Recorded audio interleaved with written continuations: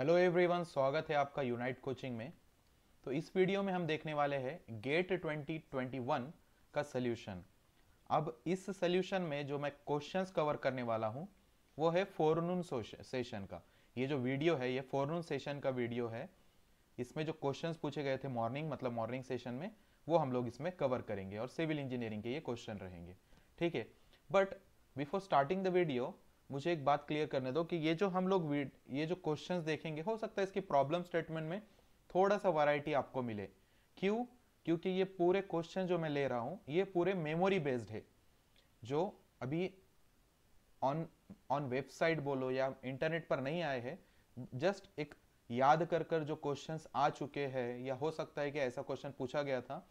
So all the questions are memory based so, let's see the solution of this gate 2021 exam. That is morning session. The first question is, why gypsum is added in cement? Cement में gypsum को क्यों add किया जाता है? तो उसके ये चार ऑप्शन दिए गए थे. Increase heat of hydration prevent quick setting increase hardening and improve the workability काफ़ी इजी क्वेश्चन था ये, और एक मार्क के लिए पूछा गया था शायद.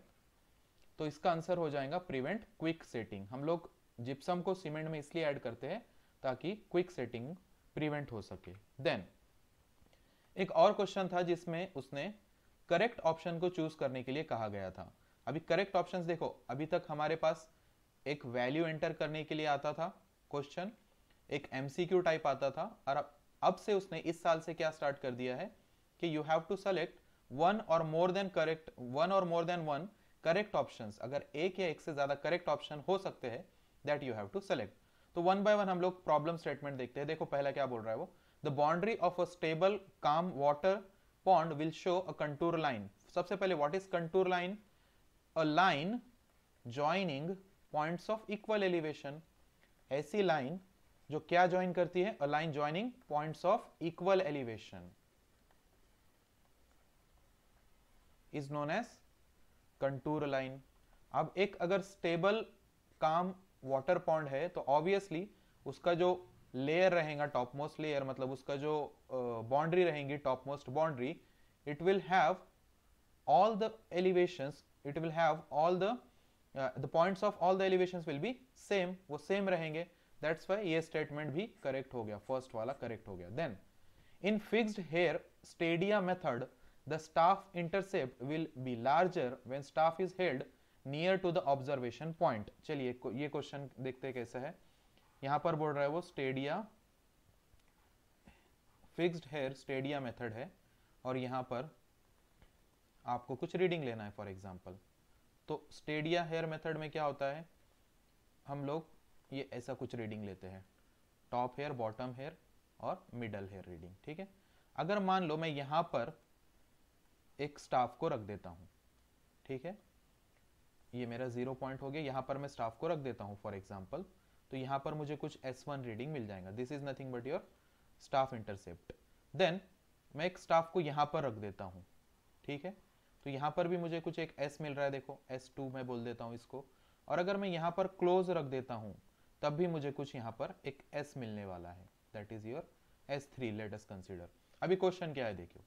In fix hair stadium method the staff intercept will be larger when staff is held near to the observation point, ये हमारा ऑब्जर्वेशन पॉइंट हो गया दैट इज़ ऑब्जर्वेशन पॉइंट इसके अगर नियर रख रहा हूँ मैं तो क्या स्टाफ इंटर से बढ़ रहा है? नहीं, वो कम हो रहा है तो ये स्टेटमेंट क्या हो गया? फॉल्स देख लो एक बार। क्या बोल रहा है वो? Near near to the observation point larger होना चाहिए। Near to the observation table तो वो कम होता जा रहा है ऑब्जर्वेशन पॉइंट से। जैसे जैसे आप दूर जा रहे हैं, वैसा वैसा बढ़ रहा है। That is s one is greater than s three ना? ऑब्जर्वेशन पॉइंट के नियर जो वाला स्टाफ है, वहाँ पर रीडिंग कम है, यहाँ पर ज़्यादा है। सो so, ये स्टेटमेंट रॉन्ग हो गया। Then if WCB of a line is 270 degree, then RB of that line is 90 degree northwest देखो, क्या क्वेश्चन है? WCB दिया है उसने whole circle bearing of a line let us consider north south east and west 270 degree यहाँ पर zero होता है, यहाँ पर 90 यहाँ पर 180 एंड यहाँ पर 270 तो ये वाला एंगल दिया है उसने this angle and how much it is 270 degree that is W C B okay this one is W C B now R भी हमको निकालना है तो एक्चुअल में जब हम रिड्यूस बेरिंग लिखते हैं तो रिड्यूस बेरिंग का फॉर्मेट कुछ ऐसा होता है. नॉर्थ वेस्ट 90 डिग्री उसने इस फॉर्मेट में लिखना चाहिए था. बट खैर, इसने ऐसा लिख दिया है तो चेक करते हैं ये, इसका रिड्यूस बेरिंग हमको निकालना है मतलब हमको ये वाला एंगल निकालना है.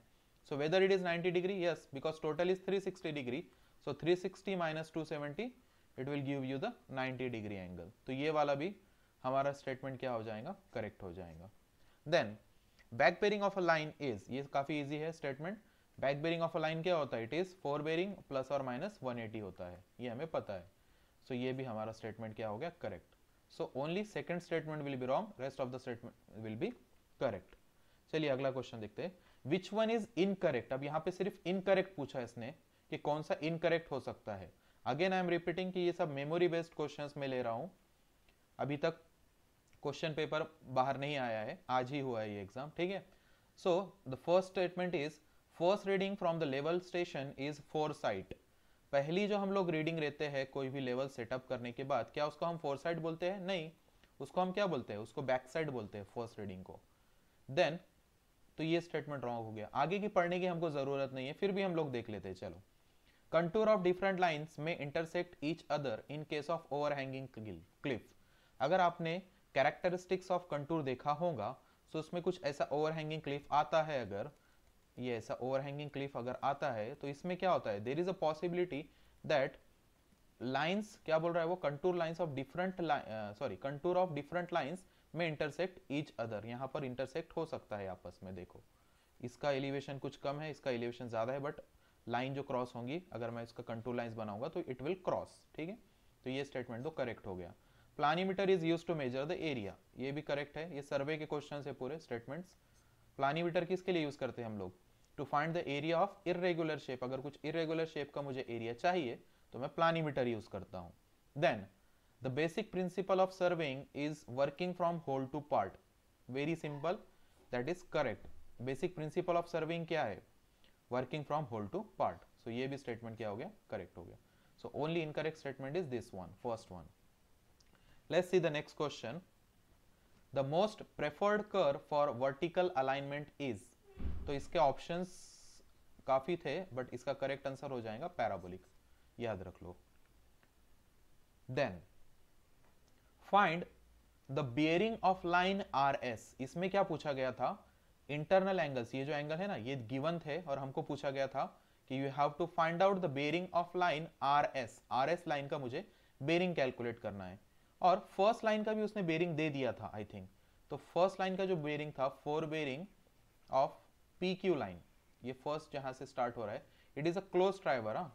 उसने मेंशन किया था it is a close traverses P Q R S जिसमें पी क्यू का फोर बेरिंग उसने दे दिया था मतलब ये वाला angle and it was how much it was 27 degree ये 27 डिग्री उसने दे दिया था, ठीक है? So how you can find out the fore bearing of R S fore bearing of R S हमको निकालना है तो कैसा फाइंड आउट करते हैं? लेट्स सी सबसे पहले देखो पी क्यू का हमको क्या मिल गया है? पी क्यू का फोर बेरिंग मिल गया है F B of P Q that is fore bearing of P Q वो कितना दिया है उसने? 27 डिग्री। तो मैं क्या कैलकुलेट कर लेता हूँ? बैक बेरिंग निकाल लेता हूँ। और बैक बेरिंग हमने अभी पिछले वाली स्टेटमेंट में ही देखा। It is fore bearing plus और माइनस 180 बट इन इस केस में देखो क्या होगा। अगर मैं ये एंगल को यहाँ से आगे लेकर ले जा रहा हूँ दिस वन तो देखो मुझे कौन सा वाला चाहिए? मुझे ये वाली ये वाला एंगल चाहिए देखो ये वाला। सो so, अगर मैं इसको आगे लेकर जाता हूँ अगर ये 27 है तो सिमिलर ट्राइंगल से ये वाला भी 27 हो जाएगा। This one will also be 27 और उसमें अगर मैं 180 ऐड करता हूँ, देखो ये ऐसा लाइन बन रहा है ना वो। इट इज़ लाइक दिस ये इतना 27 और ये इतना पूरा क्या हो जाएगा? It this is 180 degree so 180 plus 27 so यहाँ पर प्लस करना पड़ेगा 180 एफ़ बी कितना है? 27 प्लस 180 तो वो आता है कुछ 207 डिग्री ठीक है? ये मिल गया मुझे। तो मुझे अब इस लाइन का ये वाला एंगल मिल गया। ठीक है? नाउ अगर यहाँ पर इसका मैं जूम व्यू आपको बता रहा हूँ क्यू पॉइंट का, कैसा दिखेगा वो? इट इज़ लाइक दिस ना इट इज़ लाइक दिस ठीक है? तो अगर ये पूरा वाला जो एंगल यहाँ से यहाँ तक हमने निकाला, ये कितना मिला हमें? 207 डिग्री मिल गया। ठीक है? अब इसमें मुझे 68 ये पता है तो मुझे ये वाला लाइन ये वाला एंगल मिल जाएगा। This one is 68 this total is 207 तो मुझे ये मिल जाएगा। And what is this this is fore bearing of Q R तो मुझे fore bearing of Q R भी मिल जाएगा। And how I will find out that I will I have to see I have to deduct this sixty eight degree तो मैं कैसा करूँगा देखो? Fore bearing of Q R मुझे ये वाला एंगल चाहिए, ये वाला, ठीक है? सो मैं टोटल में से ये सिक्सटी एट माइनस कर देता हूँ. That is back bearing of line Q R ये ऑफ़ क्यू आर था, ठीक है? Of Q R minus sixty degree so Q R is two zero seven minus sixty eight तो वो कितना आता है? One thirty nine degree. चलो, अब मुझे ये भी मिल गया, ठीक है? अब मुझे निकालना क्या है? अगेन मैं इसको आगे थोड़ा सा एक डॉटेड लाइन से बता देता हूँ आपको समझने के लिए, ठीक है? इसका भी मुझे बैक बेरिंग मिल सकता है। अगर मुझे क्यूआर का फोर बेरिंग मिल गया तो मैं बैक बेरिंग भी निकाल सकता हूँ। बैक बेरिंग ऑफ़ क्यूआर क्या हो जाएगा? It will be fore bearing minus one ठीक है? देखो यहाँ पर। This much I know sorry it will be plus ना? हाँ ये 180 हमको ये पूरा ऐड करना है दिस वन इतना हमको ऐड करना है और इतना हमको पता है ठीक है? सो so, कितना आएगा वो देखो? फोर बेरिंग फोर बेरिंग कितना था उस लाइन का? क्यू आर का? It was this 139 degree so 139 plus 180 degree so ये कितना आ रहा है? It is around 139 plus 180 it is 319 degree calculation से एक बार चेक कर लो आप लोग. देन हमको निकालना क्या था? We have to find out the fore bearing of line R S now we can calculate it fore bearing of line R S R S का फोर बेरिंग मुझे फाइंड आउट करना है. तो मैं क्या करूँगा? मुझे ये एंगल पूरा मिल गया. दिस वन ये पूरा मुझे मिल गया ना? अगर मैं इसको यहाँ पर आपको उसका व्यू बताता हूँ this is your R point okay और ये लाइन कुछ यहाँ पर ऐसी है। तो मुझे ये ये वाला एंगल मिल चुका है। It is how much 319 degree ठीक है? उसमें से अगर मैं ये इंटरनल माइनस इंटरनल माइनस कर देता हूँ दिस एंगल दिस वन ये कितना है? It is 123 degree this one is 123 degree तो मुझे क्या मिल जाएगा? मुझे ये वाला एंगल मिल जाएगा, ठीक है? So it will be 319 minus 123 degree it is how much 196 degree ठीक है? तो ये हमारा आंसर था। That is find fore bearing of line R S उसने बोला था। तो इट इज़ 120 196 डिग्री डिफ़िकल्ट नहीं था, थोड़ा सा लेंदी था बस। That's why it was ask for I think two marks two marks के लिए पूछा गया था। Let's see the next question for partially saturated soil क्या बोल रहा है वो? देखो for partially saturated soil unit weight gamma is equal to 18.5 kilo newton per metre cube water content that is W is 25 percent then specific gravity G is 2.65 and unit weight of water is that is gamma W it is 9.81 kilo newton per metre cube और आपको find out करना था for fully saturated condition gamma sat चलो, बहुत easy है actually ये, बस थोड़े से दो दो या तीन रिलेशन हमको इस्तेमाल करना पड़ेंगे। सबसे पहले मैं गैमा का एक रिलेशन यहाँ पर लिख लेता हूँ गैमा आपने ये वाला रिलेशन देखा ही होगा सॉइल मैकेनिक्स में। G plus S into E या ई e एस लिखते हो आप divided by one plus E into gamma W के रिलेशन आपको पता होगा। नहीं पता है तो देख लो। Gamma is equal to G plus S E one one plus E into gamma W अभी हमारे पास और एक रिलेशन है, मैं यहाँ पर लिख लेता हूँ। S into E is equal to W into G ये बेसिक रिलेशन है, काफ़ी इजी है। आपने स्टडी किया होगा सॉइल मैकेनिक्स में तो ये रिलेशन हमारे पास है। तो जहाँ पर S इंटू ई आता है, वहाँ पे W इंटू जी लिख सकता हूँ क्या? लिख सकता हूँ क्यों? Because they are same they are equal तो मैं लिख सकता हूँ। जहाँ पर भी S इंटू ई आएगा, मैं वहाँ W इंटू जी लिख सकता हूँ। तो इसी को मैं ऐसा लिख सकता हूँ, G प्लस एस की जगह पे मैं क्या लिख दूँगा यहाँ पर? W into G rest of the things will be same into gamma W अब इसमें से नोन क्या क्या है हमारे पास? गैमा है। गैमा कितना है? 18.5 इज़ इक्वल टू जी उसने दिया है ये वाला। कितना है? 2.65 प्लस ओ डब्ल्यू डब्ल्यू कितना है? 25 percent that is 0.25 into G वापस जी कितना लेना है हमको? 2.65 divided by 1 plus E into gamma W gamma W is 9.81 अब ये मैं ई क्यू फाइंड आउट कर रहा हूँ? हमको चाहिए गैमा सेट क्या चाहिए? गैमा सेट जिसका फॉर्मूला होता है G plus E upon one plus E into gamma W ये एक रिलेशन है हमारे पास।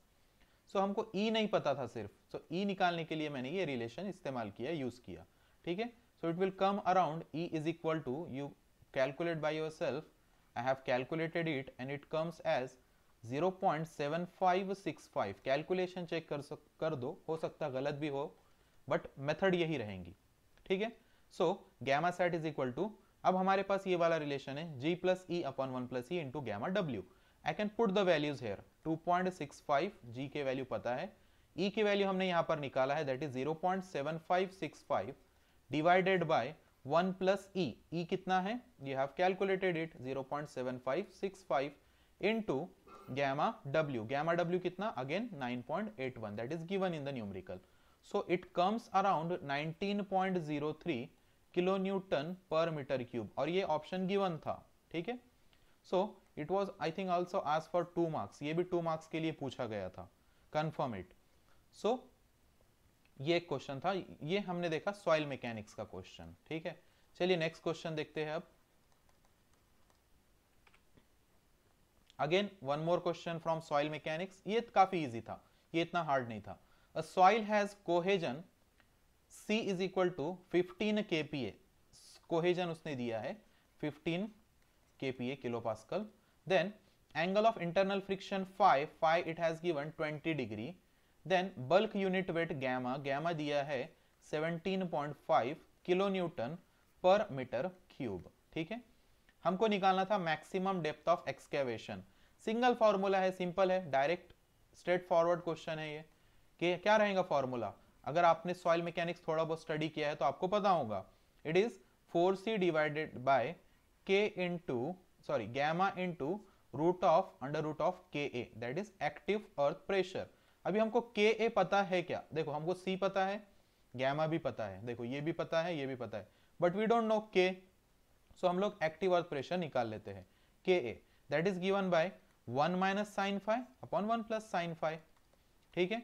ये मैं कैलकुलेट कर सकता हूँ because five I know one minus sine twenty divided by one plus sine twenty so it is around zero point four nine zero three अभी मुझे के ए की वैल्यू मिल चुकी है I can put this value and I can get maximum depth of excavation तो कितना आता है चेक करते हैं four into fifteen fifteen C की वैल्यू थी divided by gamma gamma is 17.5 into root of K A K ए कितना था? 0.4903 जो कि हमने कैलकुलेट किया। सो so ये कितना आता है आप कैलकुलेट कर लो। इट कम्स एज 4.89 मीटर ठीक है? सो so ये क्वेश्चन था। ये भी अगेन सॉइल मैकेनिक्स पर ही था। But I think one mark का होना चाहिए ये। आप चेक कर सकते हो। Because all question I am taking they are only memory based ना जो याद रखकर हमने अभी आज जो हुआ है एग्ज़ाम बस उसको याद रखकर हम लोग ये स्टेटमेंट बनाया है। सो मे बी स्टेटमेंट में थोड़ा बहुत चेंजेस हो सकता है बट क्वेश्चन यही थे। ठीक है? चलिए नेक्स्ट क्वेश्चन देखते हैं। If the water is flowing at same depth in most hydraulically efficient triangle and triangular and rectangular channel section the ratio of hydraulic radius of triangular section to that of rectangular section is, ये वाला statement उसने देखो क्या बोला है? इसमें ये वाला पॉइंट बहुत ज़्यादा इंपॉर्टेंट है। कौन सा? मोस्ट हाइड्रोलिकली इफिशियंट अगर ये पता होगा आपको कंसेप्ट तो you can easily solve this numerical also चलो, क्या पूछा है उसने सबसे पहले देखते हैं। Ratio of hydraulic radius hydraulic radius इसका रेशियो है, ठीक है? ऊपर क्या रखना है? Ratio of hydraulic radius of triangular section ऊपर रखना है हमको ट्रायंगुलर सेक्शन डिवाइडेड बाय क्या बोल रहा है वो? To that of rectangular section hydraulic radius of rectangular section ठीक है?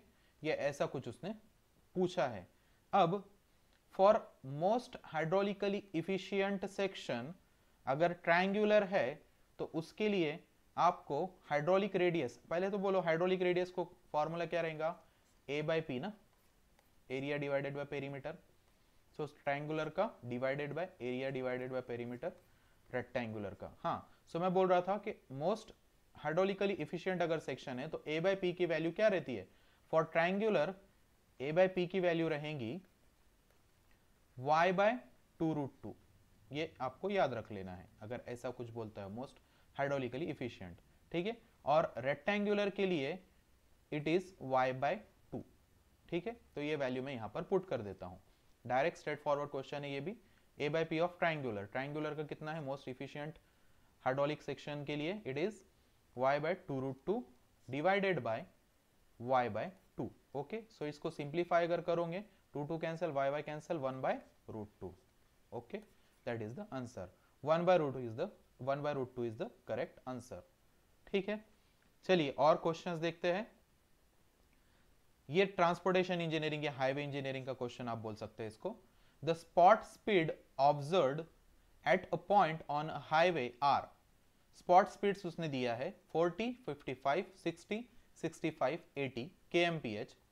Find space mean speed in km/h. Space mean mean speed क्या है सिंपल है अगेन ये भी 1 by 40 plus 1 by 55 plus 1 by 60 plus 1 by 65 and 1 by 80. क्या कह दिया है उसने देखो 40 कवर हो गया मेरा हो गया 40, 55 ले लिया मैंने 60 and and last one is 80 ठीक है? ये सिंपल फॉर्मूला है 1 बाय 40 अगर इसको सिंप्लीफाई करते हो आप 1 2 3 4 5 5 डिवाइडेड बाय समथिंग ये पूरा मल्टीप्लिकेशन इसका, आप इसको सिंप्लीफाई कर दो। या कैलकुलेटर तो अलाउड ही था ना तो इसका आंसर आएगा 56.99 kmph ठीक है? Kmph में ही पूछा था। या फिर राउंड फिगर में अगर अगर उसने डिजिट में नहीं पूछा होगा डायरेक्ट नंबर में पूछा होगा तो you can write it as 57 I don't know उसने डेसिमल में पूछा था, या डायरेक्ट इंटीजर में पूछा था। So the correct answer is 56.99 या 57 सिंपल है। आप इसको वीडियो को पॉज कर कर वापस भी देख सकते हो previous questions let's see the next question getting अभी थोड़ा समय क्या हुआ? हमने टेक्निकल काफ़ी देख लिया। थोड़ा सा नॉन टेक्निकल में आ जाते हैं। दैट इज़ एप्टीट्यूड एप्टीट्यूड के कुछ क्वेश्चन लेते हैं, और वापस सिविल के क्वेश्चन हम लोग कवर करने ही वाले हैं। But let's see some few questions of aptitude बहुत इजी था एप्टीट्यूड तो बहुत ज़्यादा इजी था। देखो getting to the top is dash dash then staying on top comparison है देन आगे वर्ड मतलब ई आर फॉर्म आने वाला है। बट मोर इजियर तो हम ऐसा बोलते नहीं है मच इजियर हम ऐसा बोलते नहीं है। तो ये ऑप्शन कट हो गए। करेक्ट ऑप्शन क्या हो गया? Only easier so getting to the top is easier than staying on top that is the correct answer ठीक है? इंग्लिश का शायद एक ही क्वेश्चन आया था। Let's see the next question हाँ सो मिरर व्यू इस इसका इस डायग्राम का आपको मिरर व्यू पूछा गया था कि how this particular word not image particular word triangle यहाँ पर लिखा था, इसका मिरर व्यू कैसा रहेगा? About X axis X axis के अबाउट आपको क्या पूछा गया था इसका? मिरर इमेज या मिरर में कैसा दिखेगा वो? ठीक है? तो इसका आंसर कुछ ऐसा हो जाएगा। मिरर में कैसा दिखेगा वो? It will look like this you can check it ठीक है? चलो नेक्स्ट क्वेश्चन देखते हैं। ये क्वेश्चन था again aptitude either P marriage Q और एक्स मैरिज वाई आइदर और का क्वेश्चन है, क्या बोल रहा है वो? Either P marriage the Q और एक्स मैरिज वाई या तो पी मैरी करेगा क्यू से, या फिर एक्स करेगा वाई से, ठीक है? अब क्वेश्चन क्या पूछा? ये तो उसने स्टेटमेंट दे दिया है this one is statement what is absolute logical negations of the statement अगर आपको ये वर्ड का मीनिंग नहीं पता है, इसका अपोजिट एग्जैक्टली अपोजिट क्या होना चाहिए? इसका अपोजिट क्या होना चाहिए? आइदर और है तो नाइदर नॉर होना चाहिए। कोई ऑप्शन है यहाँ पर? That is first option neither P marry Q nor X marry Y खत्म। आगे आपको देखने की ज़रूरत है ही नहीं। चलो उसके अलावा देख से एग्जैक्ट अपोजिट है क्या इसका। इसका हमको एग्जैक्ट अपोजिट चाहिए, ठीक है? P does not marry Q and X marries Y and आ गया, ऊपर से एक मैरी कर रहा है मतलब इसमें ये निगेटिव देखो यहाँ पर क्या है? आइदर ये करेगा या फिर ये करेगा, यहाँ पर आ गया। यहाँ पर क्या बोल रहा हूँ? ये करेगा मतलब ये दोनों सेम हो गए। हमको इसका अपोजिट चाहिए था तो ये आंसर तो नहीं हो सकता है। P marriage Q and X marriage Y ये तो दोनों हो गए सेम ऑलमोस्ट सेम हो गया इसके जैसा ही, क्योंकि दोनों को उसने, दोनों में से एक को तो उसने कर ही दिया, देखो इसको तो उसने वो ही कर दिया, ठीक है? Then X does not marry Y but P and P marriage Q देखो ये भी वही है पी मैरिज क्यू बोल रहा है, इसका हमको अपोजिट चाहिए था तो correct answer will be this चलो नेक्स्ट क्वेश्चन देखते हैं। Following shape is formed by equal length segment P by equal length segment PR, PS, TQ, TR and QS यहाँ पर कुछ PQRS दिया होगा उसने शायद। Okay what will be the angle theta तो थीटा का एंगल जो था वो है था 36 डिग्री इसका आंसर था ठीक है? आप चेक कर सकते हैं। Let's see the next question in a company 35 employees drink coffee and 40% drink tea. 40 percent पैंतीस परसेंट क्या पीते हैं? कॉफ़ी पीते हैं और 40 परसेंट जो है वो चाय पीते हैं drink tea and turn 10 percent drink both tea and coffee then how much percent of employees will neither drink coffee nor tea ठीक है? ये आप, ये वाले टाइप का क्वेश्चन आप लोग वेन डायग्राम से भी सॉल्व कर सकते हो। चलो वेन डायग्राम का मैं थोड़ा सा एक इजी आपको बता देता हूँ।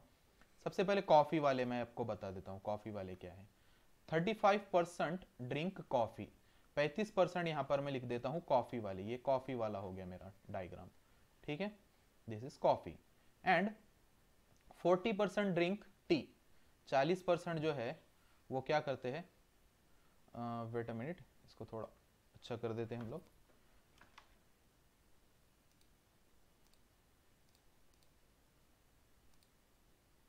फोर्टी परसेंट क्या करते हैं? चाय पीते हैं। तो चलो देख लेते हैं। Forty percent drink tea. और ये मैंने वेन डायग्राम में ये दोनों का कॉमन क्या लिया? इतना जो पार्ट है, ये जो हाईलाइटेड पार्ट मैं बता रहा हूँ इट इज़ कॉमन जो कि 10 परसेंट ड्रिंक करते हैं दोनों, टी भी और कॉफ़ी भी। तो यहाँ पर मैं 10 परसेंट लिख लेता हूँ। देखो, यहाँ पर कॉफ़ी वाला भी कुछ पार्ट आ रहा है और टी वाला भी कुछ पार्ट ओवरलैप हो रहा है। तो इतना पार्ट इसलिए क्या इंडिकेट करेगा? टी प्लस कॉफ़ी ठीक है? नाउ द क्वेश्चन क्या क्वेश्चन पूछा है? Then how much percentage of employees will neither drink coffee nor tea देखो चलो, सबसे पहले, अगर कॉफ़ी 35 परसेंट बोलता है वो तो all the people will not drink coffee 35 percent देखो इसका क्या मतलब होता है? इसमें से अगर 10 परसेंट मैं माइनस कर देता हूँ तो यहाँ पर क्या बच जाएगा? 25 परसेंट और इसमें से 10 परसेंट माइनस कर दिया तो यहाँ पर कितना बच जाएगा? 30 परसेंट अब इसको मैं इक्वल टू करता हूँ, देखो क्या बोल रहा हूँ मैं। 25 परसेंट जो है वो सिर्फ़ कॉफ़ी पिएँगे उसने क्या बोला था? ये जो 35 परसेंट कॉफ़ी पीने का बोला था उसने, ये उसने कहा था कि 35 परसेंट कॉफ़ी तो पीते हैं बट उसमें से कुछ लोग ऐसे भी हो सकते हैं कि जो टी पिएँगे but 25 percent will only drink coffee ये हमको समझ में आ गया। पच्चीस परसेंट सिर्फ़ कॉफ़ी पीने वाले थर्टी परसेंट जो है वो सिर्फ़ टी पीने वाले हैं। टी पीने वाले कितने हैं? थर्टी परसेंट ठीक है? एंड जो दोनों पियेंगे टी प्लस कॉफ़ी वो कितने थे? टेन परसेंट ठीक है? So how much will it total total कितना हो जाएगा इसका? ये हो गया आपका कॉफ़ी वाले, ये हो गया आपका टी वाले और ये दोनों का बोथ ठीक है?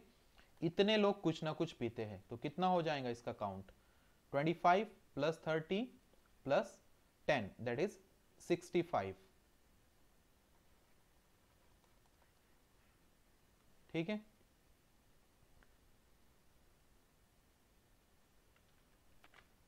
हाँ तो सिक्सटी फाइव आ गया जो कुछ ना कुछ पीते हैं। उसने पूछा है कि कुछ नहीं पीने वाले कितने तो हंड्रेड में से अगर मैं सिक्सटी फाइव माइनस कर लेता हूँ तो it will come around thirty five percent so thirty five percent ऐसे है जो कॉफ़ी भी नहीं पियेंगे, चाय भी नहीं पियेंगे। देन ये डीडीएसएस का क्वेश्चन है। Design and design of steel structures का क्वेश्चन है स्टील का। क्या पूछा गया था, देखो? इसमें आई थिंक उसने पूछा था you have to find out the resultant find resultant force find resultant force R R आपको फाइंड आउट करना था। काफ़ी लंबा न्यूमरिकल होने वाला है ये। देखो क्या है। आर इज़ इक्वल टू हमको रिजल्टेंट का फॉर्मूला पहले देख लेना है। What is resultant F one square plus F two square plus two F one F two cos of theta ठीक है? ये हमारा रिजल्टेंट का फॉर्मूला है। What is F one F one कितना है देखते हैं हम लोग। एफ़ वन का फॉर्मूला क्या हो जाएगा? Load upon number of bolts Q because all the bolts are of equal area यहाँ पर इक्वल एरिया बता रहा है वो number of bolts that is in short अगर मैं लिखूँ तो इसको हो जाएगा P by N what is P P हमको पता है, यहाँ पर दिया है उसने it is 60 60 divided by number of volts कितने बोल्ट है? 6 तो ये आ जाएगा 10 किलो न्यूटन. ये तो सिंपल हो गया. नाउ हमको F2 फाइंड आउट करना है. F2 का फॉर्मूला क्या हो जाएगा? P E R I divided by summation of R I ठीक है? अभी R I summation R I ये क्या चीज़ है? मैं बता देता हूँ। देखो, हमारा जो वोल्ट्स है, वो कुछ ऐसे अरेंज है ना। वन टू थ्री यहाँ पर है और वन टू थ्री यहाँ पर है। ठीक है? इसका अगर मैं सी जी देखता हूँ।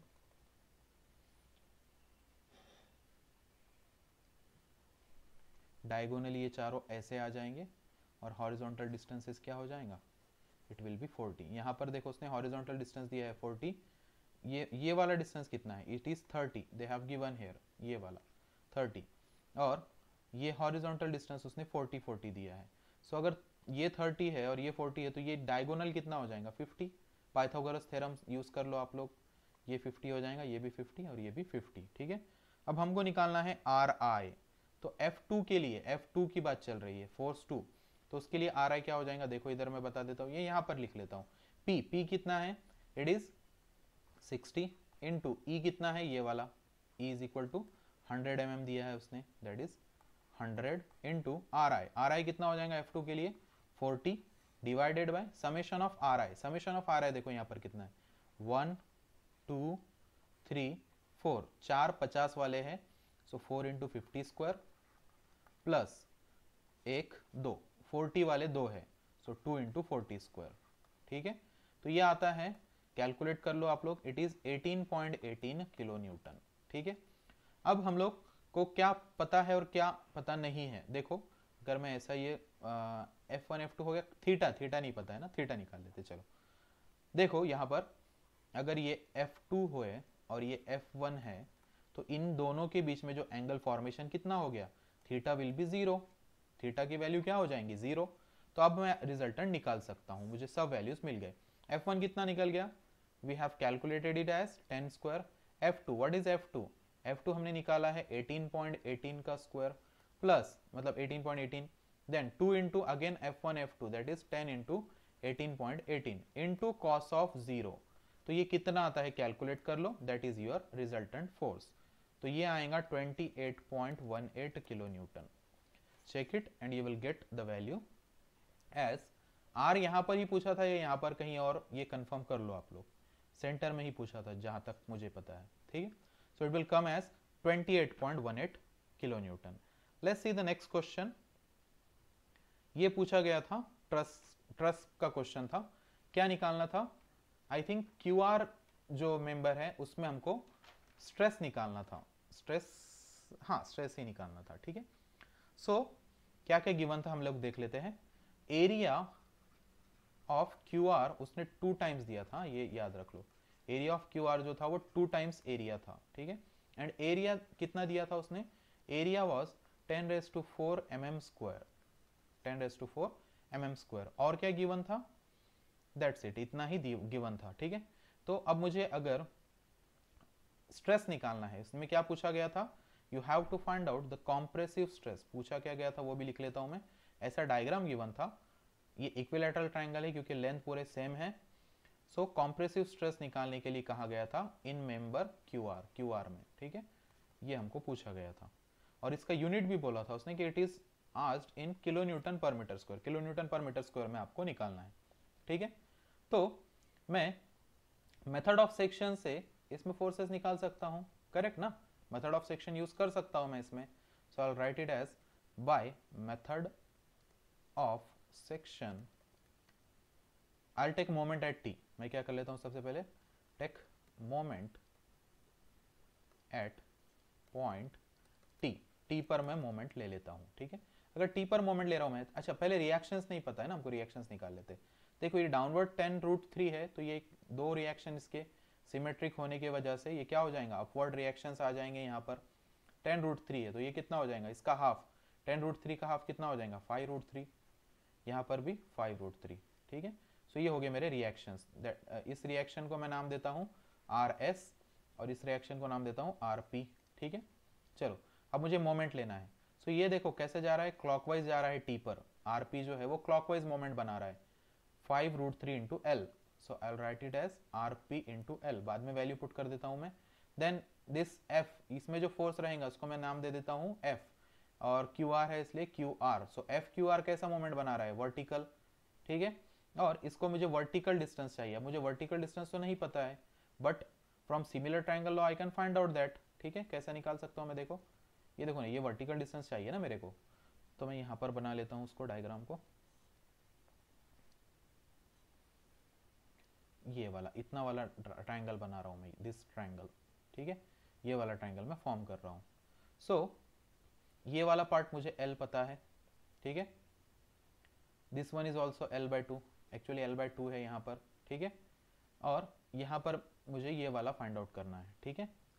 सो साइन थीटा का मैं फॉर्मूला यूज़ कर सकता हूँ ना? साइन थीटा का अगर मैं फॉर्मूला यूज़ करता हूँ तो इसको मैं एक्स बोल दिया अगर तो कितना आएगा? साइन थीटा का फॉर्मूला यूज़ करो opposite upon hypotenuse so it will come as L sine theta और थीटा मुझे पता है, अगर ये इक्विलेटरल ट्रायंगल है तो थीटा क्या हो जाएगा? This one will also be 60 degree this one also be 60 degree 60 60 degree के एंगल हो जाएँगे. सो एल साइन 60 ये मुझे मालूम हो जाएगा। चलो मैं यहाँ पर ऐड कर देता हूँ। और ये क्लॉकवाइज मोमेंट बना रहा है, देखो F F Q R clockwise moment बना रहा है, इसलिए positive F Q R into L sine 60 is equal to zero ठीक है? बिकॉज़ ये वाले जो है ये मोमेंट नहीं बना रहे ज़ीरो हो जाएँगे। देन सो so, कितना आता है ये? वैल्यूज़ पुट कर लो। आरपी कितना है? Five root three five root three into L plus F Q R वो हमको कैलकुलेट करना है। F Q R into L sine sixty को एज इट इज़ रखता हूँ मैं is equal to zero L L cancel हो सकता है। अगर कॉमन निकाल दिया और उधर भेज दिया तो। देखो इसको कॉमन निकाल दूँगा मैं एल को और उसको इस हैंड राइट हैंड साइड पर ले लूँगा तो वो ज़ीरो हो जाएगा। So only what will remain R and this plus will come to this side that is minus तो ये हो जाएगा फाइव रूट थ्री माइनस आ रहा है मतलब हमने करेक्ट किया, क्योंकि इसने देखो कॉम्प्रेसिव स्ट्रेस बोला है। Divided by sine sixty so it will come as minus ten kilo newton but इसमें फोर्स नहीं पूछा था उसने, इसने स्ट्रेस पूछा था। अभी मुझे बोलो स्ट्रेस का फॉर्मूला क्या होता है? Force upon area what is stress it is force upon area ना? ओके सो फोर्स हमने कैलकुलेट कर लिया। How much it is it is ten into kilo newton में ही पूछा है ना? ओके फिर मल्टीप्लीकेशन नहीं करता हूँ मैं। किलो न्यूटन ही है डिवाइडेड बाय एरिया एरिया कितना दिया था उसने? It was 10 metre square sorry 10 raise to 4 M M square 10 raise to 4 M M square but for area of Q R उसने बोला था टू ए टू टाइम्स तो इसको मैं मल्टीप्लाई बाय टू कर देता हूँ। और ये एम एम स्क्वायर में है, इसको मीटर स्क्वायर में लेना पड़ेगा। मीटर स्क्वायर में कन्वर्जन क्या रहेगा? 10 raise to minus six so it will come around 500 kilonewton per meter square okay 500 so ये क्वेश्चन पूछा गया था I think this was also asked for two marks let's see the next question ये सब memory based question ले रहे हैं हम लोग this question see on a road the speed density relation of traffic stream is given by mu is equal to 70 minus 0.7 k ये उसने एक रिलेशन दिया था okay at capacity condition the average time headway will be average time headway will be क्या बोल रहा है? सबसे पहले तो मैं इक्वेशन लिख देता हूँ। It is given as 70 minus zero K actually थोड़ा सा यहाँ पे ट्विस्ट है। जो स्टैंडर्ड फॉर्मूला है, उसके फॉर्मेट में हमको पहले ये इक्वेशन लाना है। It is not in the standard format हमारा स्टैंडर्ड फॉर्मेट क्या है देखो? U is equal to V S F in bracket one minus K by K J इस फॉर्मेट में हमको ये वाला लाना है। तो कैसे ला सकते हो, मैं आपको बता दूँगा। सबसे पहले what is V S F it is free mean speed ये वी एस एफ़ क्या होता है? It is free mean speed remember this okay and KJ is jam density this one is jam density okay चलो। तो इस format में अगर मुझे सिंप्लीफाई करना है उसको तो क्या हो जाएगा? Mu is equal to seventy अगर मैं कॉमन ले लेता हूँ इसमें से 70 तो यहाँ पर क्या बच जाएगा? कुछ भी नहीं वन बच जाएगा। और यहाँ पर 70 नहीं था तो मुझे देना पड़ेगा। That is I write it as like this 70 by 70 0.7 okay now अगर मैं इसको थोड़ा सा सिंप्लीफाई कर देता हूँ 0.7 बाय 70 बाय 0.7 कितना होता है? So it will be K upon hundred so अब ये कुछ उस फॉर्मेट में मुझे लग रहा है इस फॉर्मेट में। दिख रहा है मुझे? So so, I can write that my V S F is seventy देखो, यही फॉर्मेट में लग रहा है मुझे। तो मैं यहाँ पर लिख सकता हूँ कि वी एस एफ़ जो है मेरा वो 70 रहेगा। एंड के जे देखो के जे के जे कितना रहेगा मेरा? 100 के जे विल बी 100 ये फॉर्मेट में मुझे दिख रहा है। Now I will find out Q max अगर आपने ट्रांसपोर्टेशन इंजीनियरिंग पढ़ा है तो आपको ये फॉर्मूले नए नहीं लगेंगे। ओके क्यू मैक्स या टी भी बोल सकते हैं आप इसको टी इज़ इक्वल टू क्या फॉर्मूला होता है? V S F into K J divided by four okay चलो वैल्यूज़ में पुट कर देता हूँ V S F seventy K J is hundred divided by four so it will come as one seven five zero ये मुझे T के या Q के मैक्स की वैल्यू मिल गई। Now I have to find what is time headway time headway मुझे निकालना है। So time headway is given as q is equal to 3600 divided by Q max, या फिर इस इस फॉर्मेट में लिखते हैं आप लोग उसको 3600 by t okay? So 3600 as it is t या q का वैल्यू कितना निकाला हमने? It is 1750 so what it will it will come as 2.1 that is the correct answer ठीक है? सो ये भी एक हाईवे इंजीनियरिंग का ही क्वेश्चन था। Let's see the next question. A signalized intersection operates in two phases. एक सिग्नलाइज इंटरसेक्शन है जो दो फ़ेज़ में काम करता है। Lost time is three second per phase. Lost time उसने दिया है, कितना है? थ्री सेकेंड पर फ़ेज़ मतलब एक phase for one phase okay चलो, उसके बाद क्या बोल रहा है वो? Maximum ratio of approach flow to for two phases are point three and point four seven मतलब y1 और y2 की वैल्यू दिया है उसने। That is 0.30 and y2 is 0.47 okay चलिए उसके बाद find optimum cycle length using Webster's method very simple optimum cycle length Webster's method के से डायरेक्ट एक सिंपल फॉर्मूला है 1.5 l plus 5 divided by 1 minus Y now what is y? What is l? See l उस, उसने दिया है. It is loss time is 3 second per phase but यहाँ पर दो फेजेस है ना? तो तीन सेकेंड अगर एक फ़ेज़ के तो लिए है तो दो से दो फ़ेज़ के लिए कितना हो जाएगा? Six seconds for two phase यहाँ पर ही लिख लेता हूँ मैं। दो फ़ेज़ के लिए दो छः सेकेंड हो जाएगा ना, एक फ़ेज़ के अगर तीन है तो। तो एल का वैल्यू तो मुझे मिल जाएगा। वाई वाई का वैल्यू उसने दिया है वाई वन और वाई टू के फॉर्मेट में। तो वाई विल भी क्या हो जाएगा? Y one plus Y two दोनों का addition that is zero point three plus zero point four seven that is zero point seven seven ठीक है? चलो वैल्यूज़ में पुट कर देता हूँ। One point five into L what is L it is 6 plus 5 as it is 1 minus y. Y कितना है? 0.37 plus 0.40 या डायरेक्ट 0.77 आप लिख सकते हैं। मैंने कैलकुलेट कर लिया था, मैंने देखा नहीं इसको। चलो, कितना आता है ये? Calculated it will come around 60.869 that is the answer ये क्वेश्चन भी पूछा गया था आपको आज के पेपर में। ठीक है? So all this questions were memory based इतना हमको याद था जितना वो हमने आज कवर किया इस वीडियो में, और ये मॉर्निंग सेशन का था, ठीक है? सो अगर आपको ये वीडियो पसंद आता है तो please subscribe to Unite Coaching and for more videos like this you can subscribe and click the bell icon thank you very much